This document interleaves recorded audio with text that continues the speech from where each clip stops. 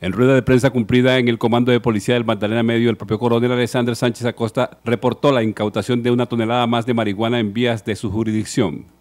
Esta marihuana eh, fue encontrada en una sofisticada caleta en un camión tipo furgón y gracias a la pericia de los uniformados de la unidad de la seccional de tránsito y transporte del Magdalena Medio, eh, logran a través de los operativos de prevención y de control que se realizan en las vías en el sector de la Lizama, en el kilómetro 14 en jurisdicción del municipio de Cimitarra, eh, inmovilizar este vehículo y después de una búsqueda exhaustiva logran ubicar una sofisticada caleta en el techo del camión. El alucinógeno fue hallado tras una búsqueda intensa por parte de un equipo especializado antinarcóticos de la policía. Especialmente aprovechan los fines de semana, tenemos dos casos en este fin de semana en el que por la misma movilidad que se presenta, las altas congestiones, eh, pueden aprovecharla, pero ahí es donde está la parte de la selección y el análisis que hacen los miembros de la seccional de tránsito y transporte para eh, inmovilizar algunos vehículos con el fin de